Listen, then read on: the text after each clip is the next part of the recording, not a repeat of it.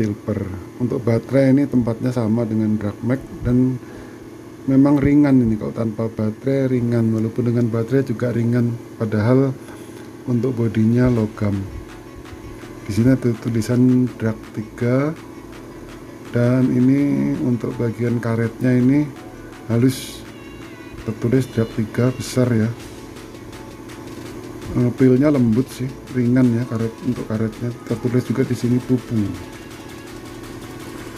pupunya besar ya. Kemudian untuk sini ada aksen jahitan tapi sebetulnya ini cuma gambar bukan jahitan ya. Bukan jahitan yang pin konektor 510 nya cukup besar. Jadi lebih besar daripada Vaporeso Gen S. Dan tombol firingnya cukup kliki Vaporeso Gen ini sudah saya gunakan kurang lebih sebulan. Ini Vaporeso Gen yang biasa ya, bukan Gen S. Dan di sini ada pulse mode yang memang saya paling suka tuh pulse mode. Dan ini juga autentik ya karena ada scratch me untuk mengecek autentik atau tidaknya. Casing Vaporeso Gen ini terbuat dari plastik ABS ya sedangkan drag 3 terbuat dari logam dan desainnya bagus jadi kalau dilihat dari harga produksi itu kemungkinan lebih besar dan lebih mahal biaya produksi di drag 3 tetapi untuk harga terpaut sedikit lebih mahal Vaporeso Gen sedangkan build quality lebih bagus drag 3 jadi setelah kita masukkan baterai maka akan uh, otomatis nyala.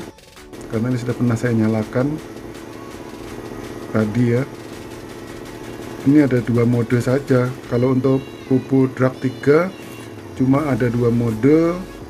Jadi memang cocok untuk pemula. Nah ini smart mode dan RBA mode. Jadi untuk mode smart dia langsung membaca otomatis. Kalau kita lewat 80 wattnya kita tinggikan maka uh, akan berubah merah paling tinggi adalah 177 watt nah 177 watt kalau kita turunkan lagi di bawah 80 maka dia tidak berubah jadi warna merah jadi warna merahnya tertanda adalah super mode kita klik tiga kali maka berubah menjadi RBA mode. Sebelumnya saya juga pernah punya Max, jadi ini mirip dengan Max. Bedanya Max hanya bisa digunakan menggunakan pot saja. Jadi untuk layar itu Drag 3 eh, banyak warnanya ya dibanding Vaporeso Gen hanya warna putih. Untuk indikator baterai di 3 ada dua bar, jadi ketahuan baterai kiri kanan. Sedangkan di Vaporeso hanya satu dalam persentase saja maksud saya indikator baterai kalau di 3 ada dua jadi dua baterai itu ketahuan mana yang kurang strumnya kalau di Vaporeso hanya satu dan ditulis persentase. Untuk tombolnya juga kliki enak ya pilnya dibanding Vaporeso Gen menurut saya. Jadi tombolnya sesuai dengan ergonomi yaitu agak melengkung ke dalam. Ini paper Gen yang sudah satu bulan saya gunakan catnya rusak. Sehingga saya cat ulang juga rusak. Jadi catnya gampang terkelupas untuk paper Gen itu kelemahan yang pertama kedua pinnya ini pinnya ini kecil dan sering longgar. Saya sering gunakan arbiter di sini di mana RTA ini sangat berat ya sangat besar dan berat sehingga dia goyang. Nah seperti ini dia goyang. Saya perbaiki beberapa kali dengan diketuk palu ya perlahan tapi dia goyang lagi pinnya. Jadi selalu kembali seperti semula longgar terus. Tombolnya ini lebih duluan hilang warnanya karena kena liquid jadi jika sering kena liquid maka catnya gampang hilang untuk Vaporeso Gen untuk layar lebih besar Dark 3 dibanding Vaporeso Gen jadi lebih mudah dibaca. Untuk baterai sama-sama menggunakan dua baterai. Cuma ya tadi kelemahannya catnya gampang rusak dan pinnya gampang longgar. Kalau untuk cocoknya dia sih cocok dipasangkan dengan atau measure apa pun ya atau RTA apa pun ini cocok saja sebetulnya. Dan firingnya juga kuat. Firingnya juga tidak mengecewakan saya menyukai pulse mode. Jadi untuk chipnya saya sebetulnya lebih suka Vaporeso Gen karena e, banyak fiturnya sedangkan di drag 3 hanya ada dua. Jadi hanya simple hanya RBA dan smart mode. Nah untuk dipasangkan dengan Bluetooth Mini Authentic juga sebetulnya bagus ya. Tidak uh, tidak over. Jadi sebetulnya enak ya. Cuma ring, uh, kalau untuk ringan memang ringan drag 3 jika dipasangkan dengan RDA Tetrabit Authentic yang sering saya pakai juga sebetulnya bagus juga pilnya dan pairingnya Vaporeso Gen ini tidak mengecewakan. Kita akan tes pairing baterai yang dari drag 3 akan saya pindahkan ke Vaporeso Gen ya. Jadi biar sama. Biar sama biar adil nah di sini saya gunakan Dead Rabbit RDA dia langsung new load nah ini kelebihan dari Vaporeso Gen. Dia langsung membaca dan memberikan estimasi base watt di mana kita e, dikasih ring watt berapa yang baik menggunakan coil yang kita pilih atau measure yang kita pilih. Jadi itu kelebihan di Vaporeso coba kita pup.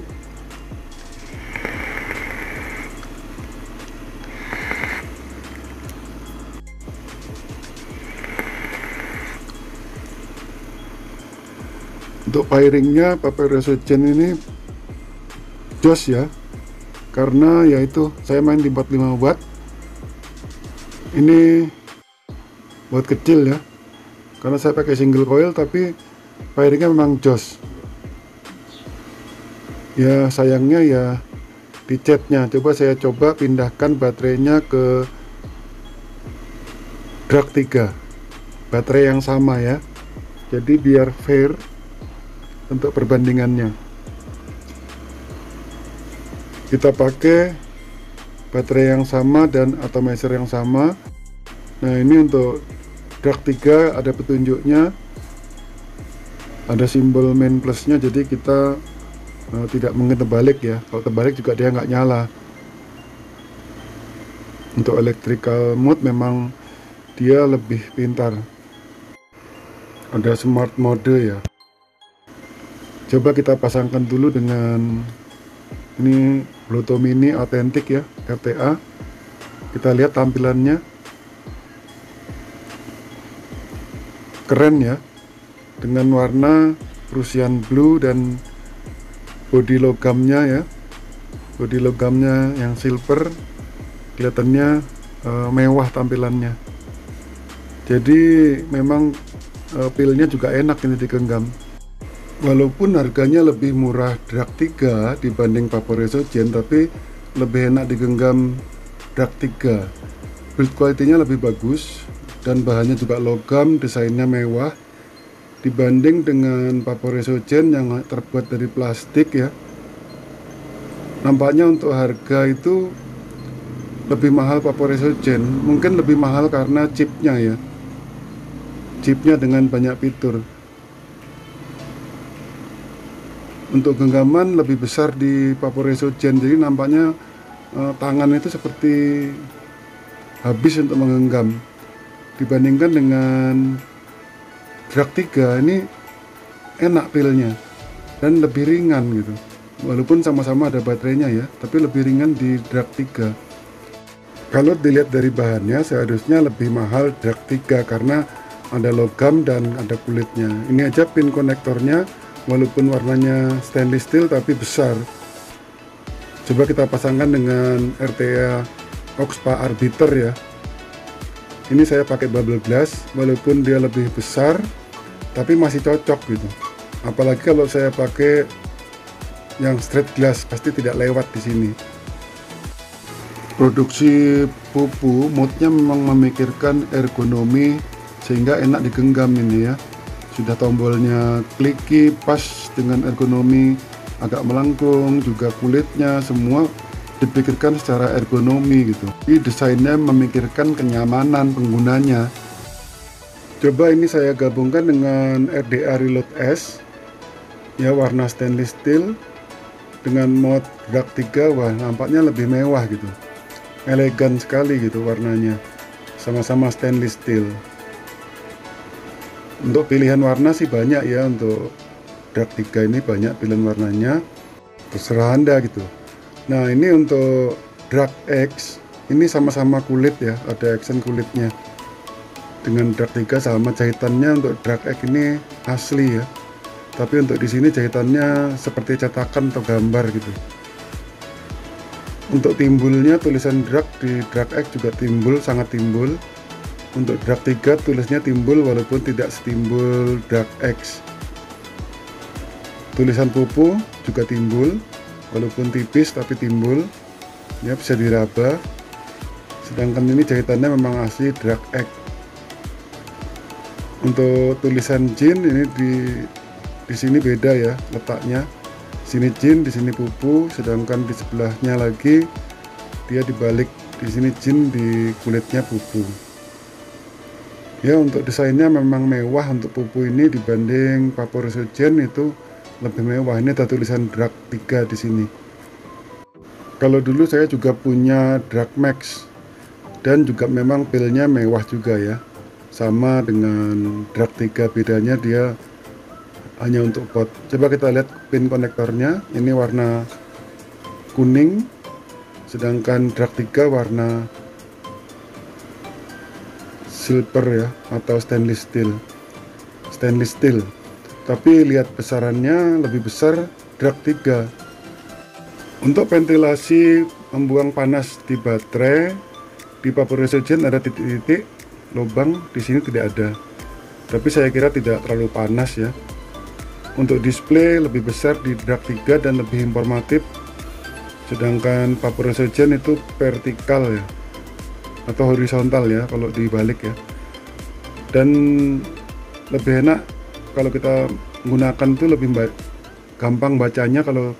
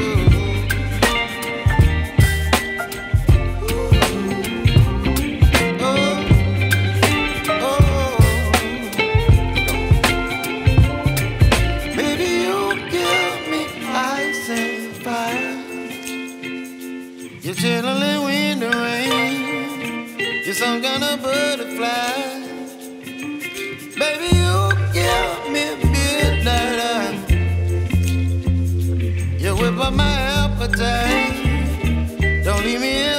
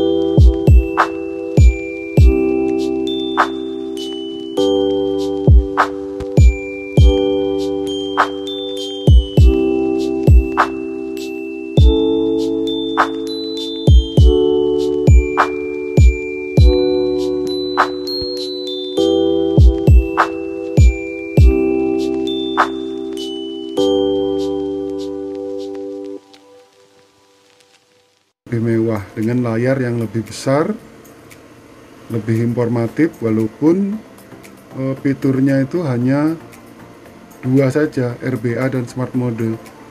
Sedangkan untuk Vaporeso Gen itu menang di banyak fitur. Walaupun fitur-fitur yang lain di Vaporeso Gen itu banyak yang tidak saya gunakan juga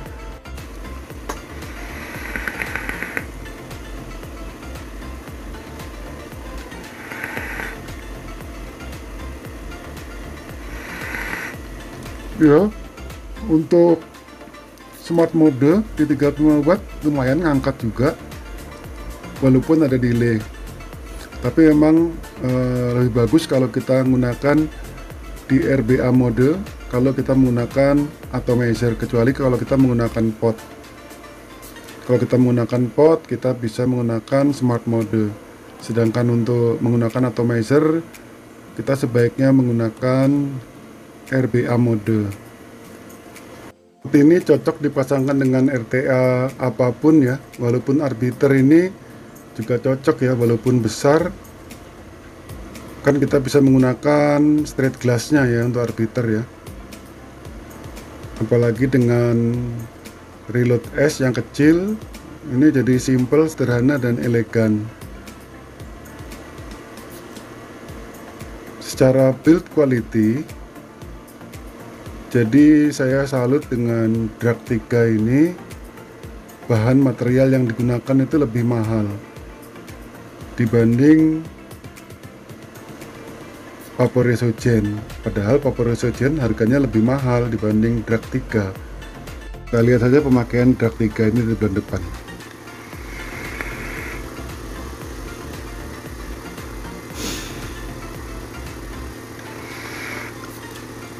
ya dalam satu bulan ke depan apakah mungkin kulitnya jadi kotor tapi untuk firing sih sama oke nya dengan Gen dan bahannya logam. Gen terbuat dari plastik dan pin konektornya gampang longgar. Pilihan terserah anda